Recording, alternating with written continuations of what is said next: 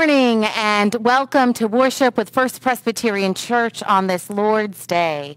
We are pleased to gather on this Sunday morning to celebrate God moving in our midst. Even while we may be separated through screens, we know that God, Spirit, binds us together in this time and in this day. Friends, let us give thanks to God for this day and worship with our whole hearts and sing together our opening hymn.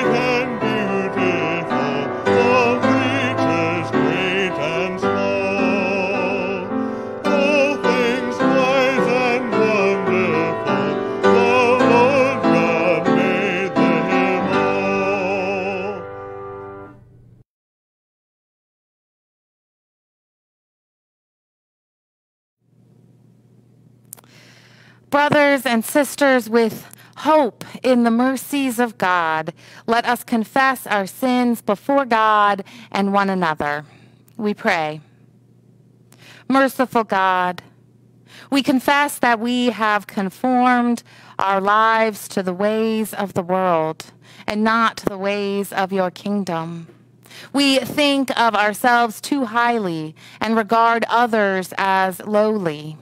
We exalt possessions and power when you alone are to be exalted. We let conflicts prevail over grace and divisions over your beloved peace. Have mercy upon us, we pray. Forgive and transform us that we may be holy and acceptable to you, discerning and doing your will. Through Jesus Christ we pray. Amen. Friends, the mercy and the love is steadfast. The forgiveness and grace of God is offered to you on this day and every day. Friends, believe the good news. In Jesus Christ, we are forgiven. In Jesus Christ, we know God's forgiveness and God's peace. At this time, please share the peace of Christ with one another. Feel free to type it into the comments of our live stream. Share that peace with those gathered around you and know that Christ's peace moves among this time and place. Friends, may the peace of Christ be with you.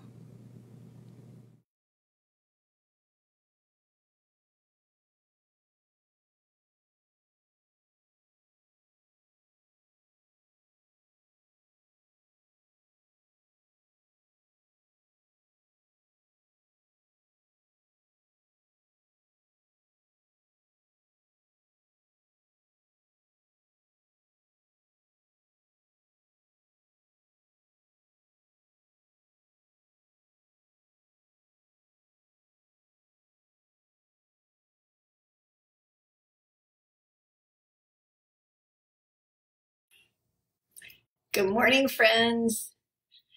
I really miss seeing your faces on Sunday morning. And though there are many hard things about this time with COVID, we do have a chance to do things in this virtual worship that we wouldn't be able to do in our sanctuary. And one of those things is showing a video that everybody can see. So, to explore our Bible story this morning, I would like to share this fun and interesting video that was produced by Hadar, which is a Jewish educational institution. Let's watch and listen. Meet Shifra and Pua. When we first see them at the beginning of the Exodus story, they're introduced as humble midwives, Hameyaladot Ha'ivriot. This can mean the Israelite midwives or the midwives of the Israelites, which is a very important difference. They help mothers deliver babies, and they're important here because Paro's murderous plan to kill the Israelite baby boys involves midwives. He tells them, Here's what you have to do. When an Israelite woman is giving birth, check to see if it's a boy or a girl. If it's a boy, kill it. Tell her that the baby was born dead. If it's a girl, let it live. Initially, we have every reason to think the midwives will go ahead with this plan. Paro has the power to kill people. He's able to afflict an entire nation. It would take a lot of courage to stand up to Paro, but that's exactly what Shifra and Pua do. The Torah tells us that they feared God, and because of that, they let the babies live. When Paro confronts them, they bravely lie, telling him that by the time they get to the Israelite women, they've already given birth and haven't had the opportunity to carry out the orders. Paro is forced to move to his next plan to throw the baby boys into the Nile. But who knows how many babies Shifra and Pua managed to save in the meantime? There are two traditional ways to read the story of Shifra and Pua. In the first read, Shifra and Pua are themselves actual Israelite women. They're standing up for their friends and family, willing to risk death so that their people don't suffer. The confusing part of seeing them as Israelites is why Paro would have thought they'd carry out his plan at all. One possible reason Paro assumes that everyone is afraid of him, and he doesn't think that people have courage of their own or that they're willing to take a stand for what they believe is right. Another possible reason is that historically, the Israelites haven't always been great about protecting each other. After all, the way the Israelites wound up in Egypt in the first place was because Joseph's brothers sold him into slavery. Maybe Paro figures that this is a people who don't look out for each other. Shifra and Pua are the first to prove that maybe that's not true.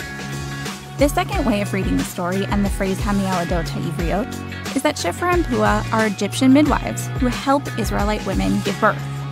In some ways, this reading of the story makes a lot more sense. Of course, Paro would assume that Egyptian midwives would be willing to carry out his order and kill Israelite babies. Why would they not? Like the rest of the Egyptians, Paro figures these midwives are afraid of the Israelites and willing to do whatever it takes to make sure that they're controlled. In this reading of the story, Shifra and Pua's active resistance is a little less obvious, but deeply important. It shows us that all Egyptians are not the same. There are some, like Paro and the taskmasters, who are willing to do whatever it takes to maintain power and control. But there are others, like Shifra and Pua, and like Bat Paro, like Paro's daughter herself, who rescues baby Moshe from the Nile. These Egyptians fear God and are willing to look out for babies and vulnerable women, and are willing to take chances with their own lives rather than go against their own consciences. Who do you think Shifra and Pua, Hameyaladot Ivriot are? Israelites who saw their chance to stand up for their community?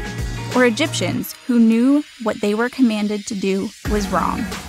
Either way, this act of courage is what sets the whole story of the Exodus, the Israelites' freedom from slavery, into motion.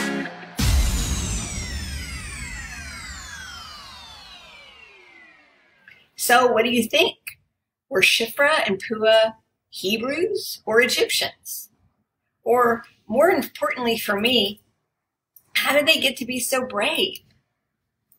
I sometimes worry that when it's my time to stand up for what is right, I may feel shy or be scared and not do the right thing. It has certainly happened to me. I think being brave takes practice, doing little things to stay ready. It's not easy to be the one who says, Hey guys, that's mean. Don't do that. Or, Hey, that new kid is all alone. Let's go see if they want to hang out. I hope this week you will wonder about the story of Shifra and Pua and start to practice bravely standing up for what is right. Let's pray together. Great big God of love, we thank you for the story of Shifra and Pua. Take away our fears. Help us be bold and brave with your love. Help us stand up for what is right. We pray in Jesus' name. Amen.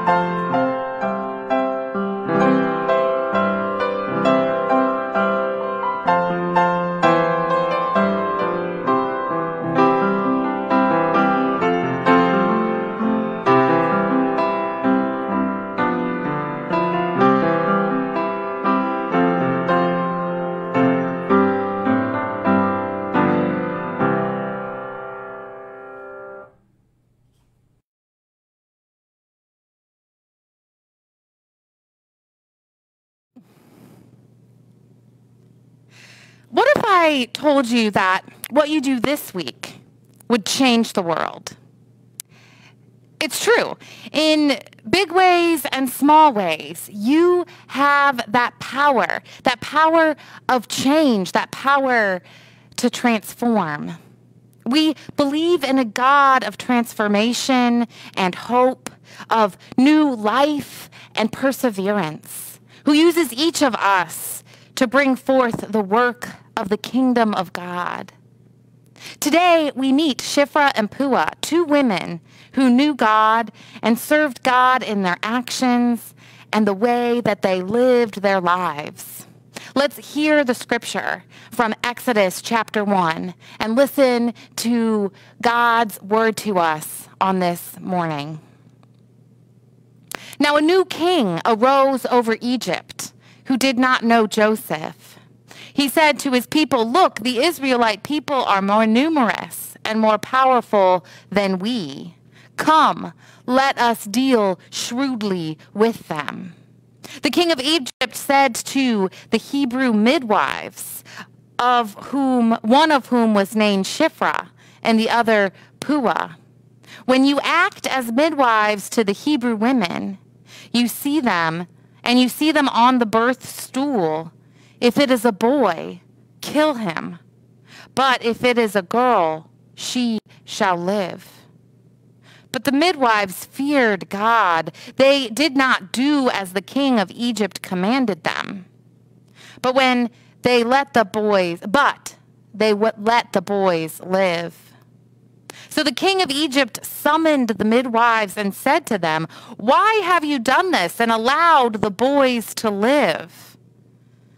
The midwives said to Pharaoh, because the Hebrew women are not like Egyptian women, for they are vigorous and give birth before the midwife comes to them.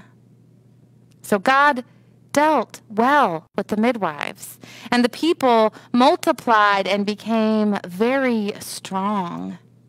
And because the midwives feared God, he gave them families.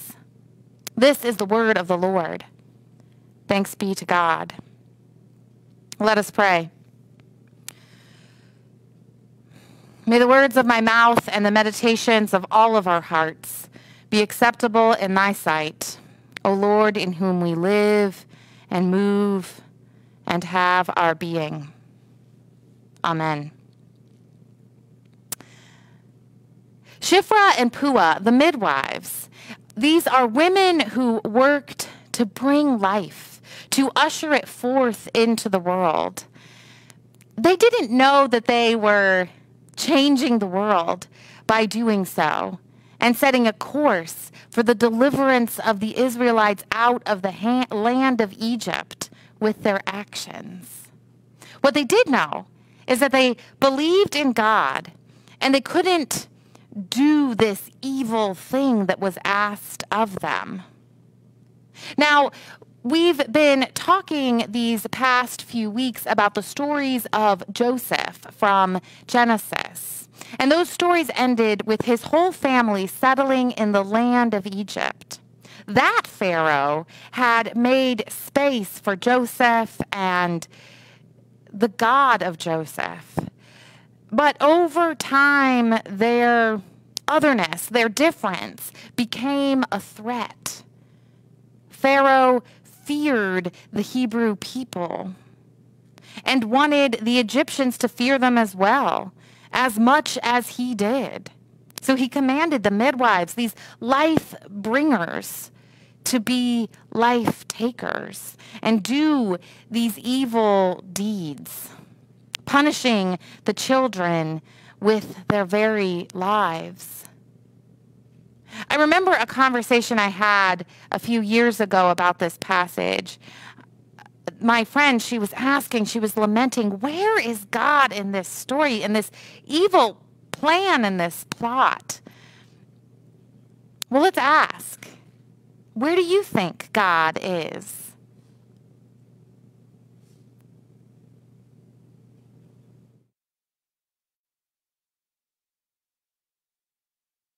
Uh, God, God, I've been taught that you have a special re- connection with the Pharaoh and you speak more directly to him than anyone else. Yes, I know that's what you have been taught, but look, you are talking to me right now. so I am.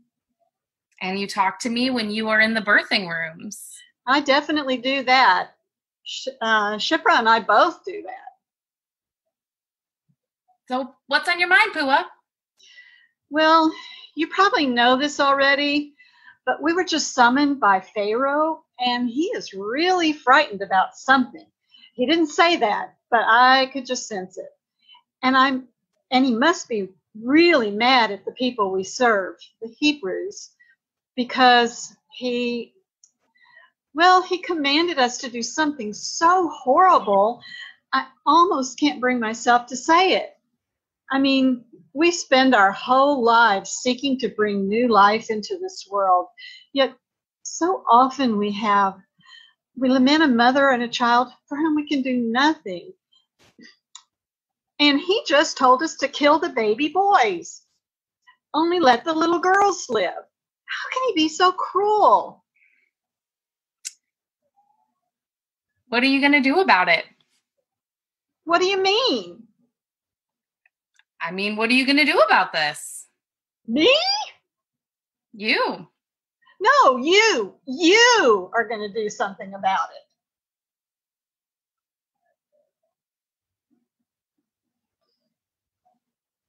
Can't you stop Pharaoh? You and Shifra have the power to stop this from happening. We do? Yes. Really? Yes. I I'm going to need a lot of courage. Yes. I'm a I'm a little afraid. Yes. He's going to find out. Yes, Pharaoh will find out. What will we say to him when he does? You'll find the words.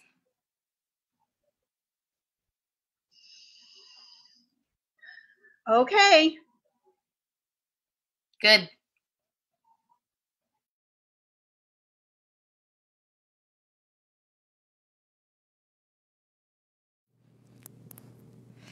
Shifra and Pua made a decision. They took a chance and realized they had it in them to stop this evil plot. They defied Pharaoh, not knowing what it would cost them nor who they would save. But at the time, they probably weren't thinking revolutionary acts of change, but let's just do this next right thing. Let's save this next baby, and the next one, and the one after that. In these actions, though, they set a course for the salvation of the Hebrew people from slavery. They refused to buy into Pharaoh's fear and power grasp and continued to serve God with the work of their hands and the strength of their convictions. Pharaoh then, though, intensifies his evil plan. Let's hear of what happens next, what brave women will do to counter him in Exodus chapter 1, verse 22 through 2, verses 10. Then Pharaoh commanded all his people, Let every boy that is born in to the Hebrews you shall throw into the Nile, but you shall let every girl live. Now a man from the house of Levi went and married a Levite woman. The woman conceived and bore a son. And when she saw that he was a fine baby, she hid him for three months. When she could hide him no longer, she got a papyrus basket for him and plastered it with bitumen and pitch.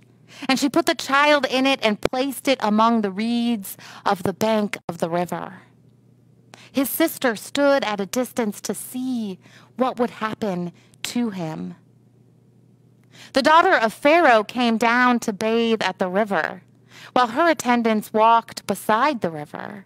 She saw the basket among the reeds and sent her maid to it.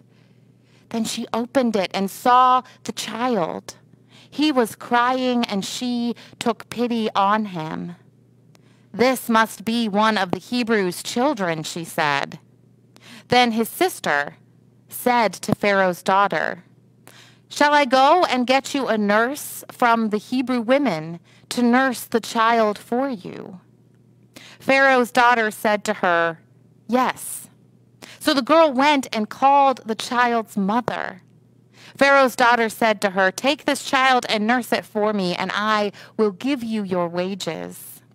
So the, women, the woman took the child and nursed it. When the child grew up, she brought him to Pharaoh's daughter, and she took him as her son. She named him Moses because she said, I drew him out of the water. This is the word of the Lord. Thanks be to God. These women, too, trying trying with what they have in the moment to act faithfully. And it's in these simple acts, simple, faithful acts of defiance that they are attempting to bear witness to justice in the moment. Decisions, big and small, in this story with these women help us to see how the actions of faithful people can change the world that we live in. Each action, each decision that we make has the power to affect good in this world, to live into God's calls of justice, to lift up the life and well being of those around us but each action and each decision we make also has the power to harm. To harm others, to harm ourselves, to harm the environment, to harm the cause of justice. The things that we do this week, this day even, our actions and decisions and choices will ripple out with consequences foreseen and unforeseen. So my original original question for today shouldn't be shouldn't really be whether we will change the world, but how will we change the world in these days to come? This week, this month, this season, this year. What will we do to make a difference in the world? Some of our actions may be big and bold and courageous. Some may be small and hardly noticeable, yet they all have the potential to ripple out, affecting countless lives. Yesterday, it was Shifra and Pua with their power standing up to a bully and a tyrant. Who will it be today? Who will it be tomorrow? How will we continue to serve the God that we know stands on the side of the marginalized and the side of the oppressed? A God who we know loves justice and who we know loves us deeply and redeems us and offers us grace and new life time and again. What actions and decisions will we make today and tomorrow that live into this knowledge and this story, into the legacy of those midwives so long ago? Perhaps you are thinking, well, I don't really deal in life and death matters. I don't really think I have the power to make that kind of difference in the world. But you do. Now, in this moment, in these days, we're dealing with life and death so clearly during the time of this global pandemic. And the small choices that we make add up. This week, I was waiting for uh, my COVID test results, which thankfully came back negative. But during that time, those choices that we were making, all of it held risks and decisions to weigh out. Gosh, in these days, every choice we make can be life and death. This is clear more in these days than, than ever before. Now, my point today is not just that Shifra and Pua are some fierce Old Testament ladies whose story I love and I hope you learn to love too, which they are and I do. But the point is that these women and Moses' mother and sister and Pharaoh's daughter, all of them, they seemingly didn't have a lot of power in the world or status, but they still found ways to serve God with their lives, in their actions and their choices, and for the midwives in their vocation. They bear witness to the mothering power of God, this God that works through them, this God whose will for life overrides death whose power for life is undeterred by earthly rulers, who set up systems uh, undeterred by those who would set up systems for personal gain or power or benefit, not knowing God, not striving to find God's purposes for their people and for their lives. We must seek to be on the side of God's love and God's justice with our choices and our actions. Be in conversation with God about it. Like our scene earlier today, we'll find the words and the courage to plant those seeds of justice.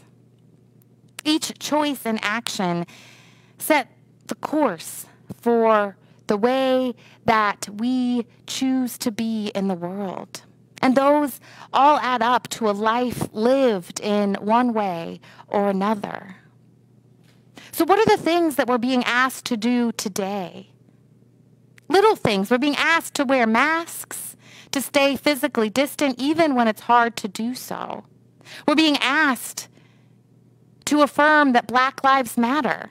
They do very much. We're being asked to see one another as brothers and sisters in this work of racial justice. We're being asked to join God's work in eradicating poverty and dismantling the systems of racism and oppression that threaten human dignity. There's this poem that is in the memory of Archbishop Oscar Romero, who was assassinated while preaching the gospel and speaking out, who spoke out against the violence of the El Salvadorian government against his own people. This poem reads We accomplish in our lifetime only a fraction of the magnificent enterprise that is God's work. This is what we are about. We plant the seeds that one day will grow. We water the seeds already planted, knowing that they hold future promise. We cannot do everything. And there is a sense of liberation in realizing this. This enables us to do something and to do it very well. It may be incomplete, but it is a beginning, a step along the way, an opportunity for the Lord's grace to enter and to do the rest. We may never see the end results, but that is the difference between the master builder and the worker. We are workers, not master builders, ministers, not messiahs. We are prophets of a future not our own. We, each of us, are called in into God's work in this world. The steps that we take, the actions we pursue, all of this works towards the future that we create together. Be a part of making this world one where the love of neighbor is lifted up, where refusing to allow violence and unjust policies and systems to mandate the oppression of a people. Let us be a part of making this world that we making this world be one that we want to be in and be a part of, a world where we meet God in every person affirming that human life is created in the very image of God. Shifra and Pua knew this to be true. They knew God and they knew what they had to do. So, friends, think about the seeds we are planting with each decision we make. With each decision we make and each action we pursue. May it be so. Amen.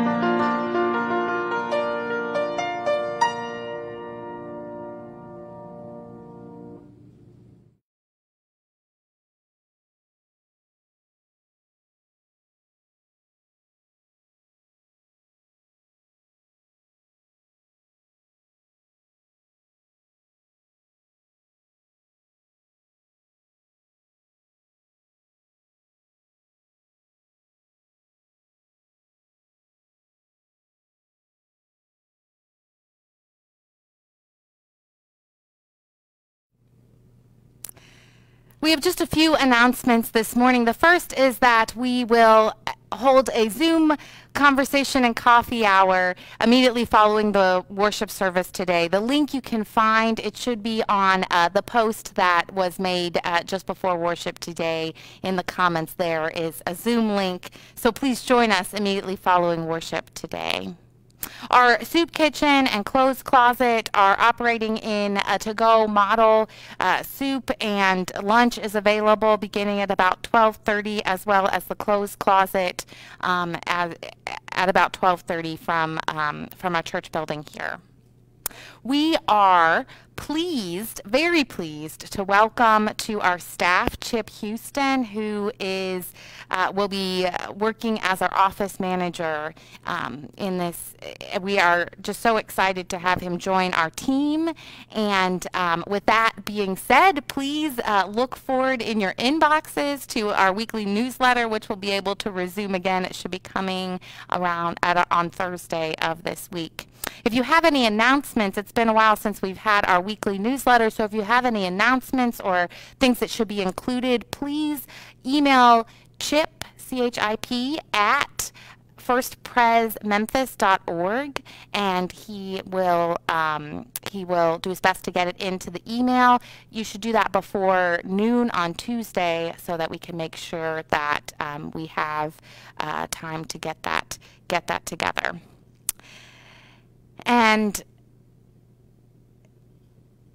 with that, um, I believe those are all of our announcements for today. So uh, as we think about our time of offering, here are some words from the book of Romans. God has given us gifts to share, prophetic acts and acts of service, teaching and leading, encouragement, diligence, and cheerfulness, giving without strings attached.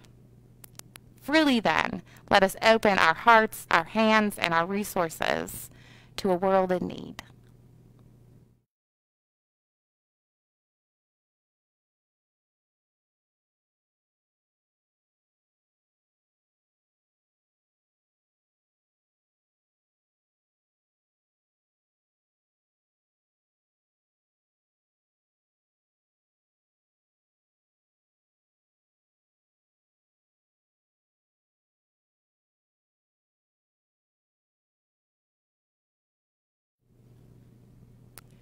Let us pray.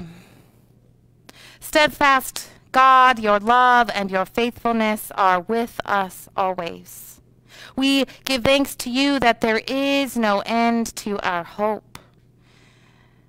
By your power, we know that all things will be restored Therefore, we pray with confidence to you, who are above all things, who are within all things, that you take notice of those who cry out for your love and your mercy. We ask that your presence be known to those who are in the midst of trouble. To anyone in despair, send your deliverance swiftly. For those longing for home, return them, we pray, to a place of safety and of love. For those estranged from one another in this distant time, we pray that your love and your presence be a comfort. Loving God, your promise to comfort your promise of comfort in to those in sorrow, may it help to be a comfort to us and to those who are in troubled times. Lift each one up so that they might see your salvation. We ask that you be especially now with our sister Vicky in the hospital now recovering and for those who are sick and ill. We ask that your healing presence be known in the hospitals and with the doctors and the nurses who seek to bring your healing. We ask for strength and courage in this seemingly unending season of pandemic and illness and disease. We ask, O oh God, that you help us and you help the nations to learn your justice and to practice it. Silence the deafening drumbeat of war so that we might learn a song of thanksgiving. We desire to be better caretakers of your people, O God. Break our hearts open with injustice, that we may be doers of justice, actors of love, bringers of peace, and generous servants in your world, in our communities, in our homes, and in our daily lives. We thank you, O God, for the gift of the church and for the varied gifts of this, the people among us. We ask that you enlarge in our witness in the world in small acts and in large ones. We thank you, O God, that we might come to you in prayer and we pray all of this in the name of your Son, Jesus Christ, who taught us to pray. Our Father, who art in heaven, hallowed be thy name. Thy kingdom come, thy will be done, on earth as it is in heaven. Give us this day our daily bread, and forgive us our debts as we forgive our debtors. And lead us not into temptation, but deliver us from evil. For thine is the kingdom and the power and the glory forever. Amen. Let us now sing our closing hymn.